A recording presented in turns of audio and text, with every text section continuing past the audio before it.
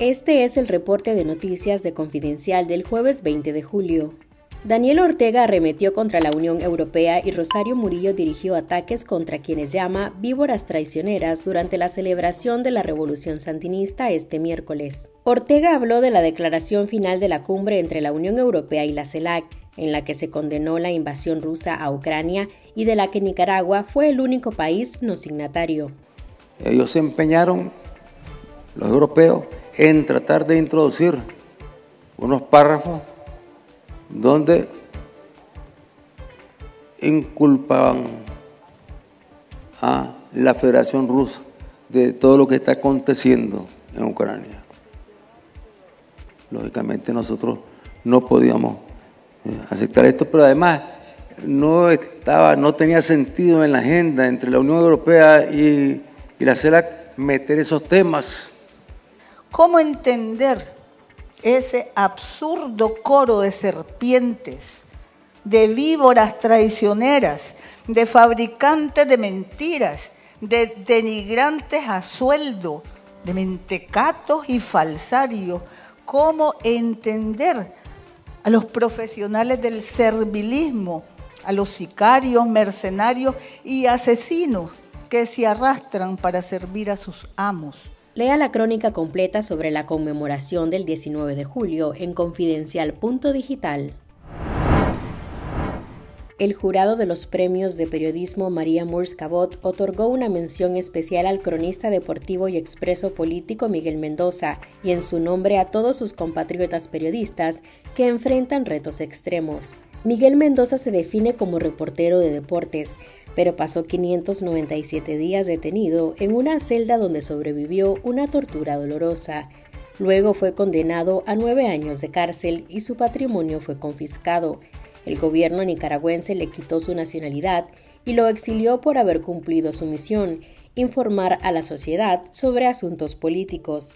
El Premio de Periodismo María Moores Cabot es uno de los galardones más antiguos y de mayor prestigio del continente y es entregado por la Universidad de Columbia en Estados Unidos. Lea el reporte completo en confidencial.digital. La juventud sandinista pasó de ser una fuerza de choque a una red de espionaje partidario, afirman a Confidencial tres ex integrantes de la organización de Managua, Estelí y Granada.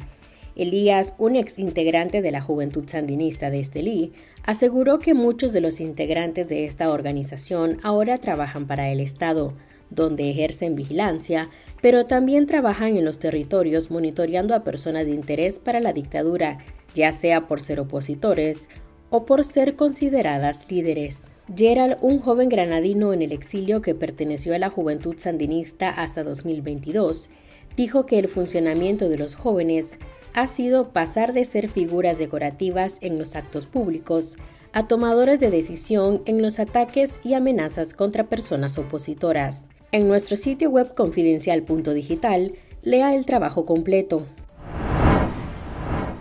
Un grupo de mujeres en riesgo quedaron sin hogar desde que el pasado 11 de julio la policía y miembros de la alcaldía de Condega confiscaron la casa de la Asociación de Mujeres Constructoras de Condega.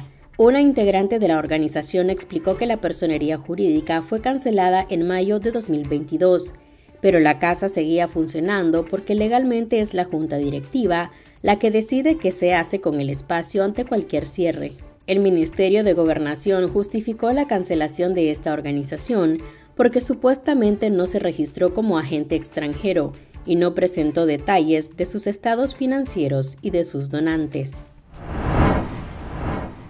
El presidente de Colombia, Gustavo Petro, anunció este jueves que buscará un diálogo con el régimen de Daniel Ortega para negociar las condiciones de pesca del pueblo raizal, después del final de un largo litigio marítimo ante la Corte Internacional de Justicia. El presidente hizo el anuncio en la conmemoración del Día de la Independencia con un discurso centrado en el fallo de hace una semana de la Corte, que impidió a Nicaragua extender su plataforma continental más allá de las 200 millas náuticas que delimitan su frontera marítima con Colombia desde otro fallo de la misma Corte en 2012. Las palabras de Petro se dan un día después de que Ortega le pidiera al gobierno colombiano plasmar en un acuerdo bilateral los fallos de la Corte, durante su discurso por el aniversario de la Revolución Sandinista.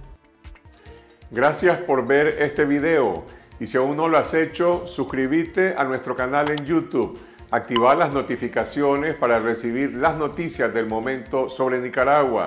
Tu respaldo a Confidencial es imprescindible para seguir informando y para ganar la batalla de la verdad.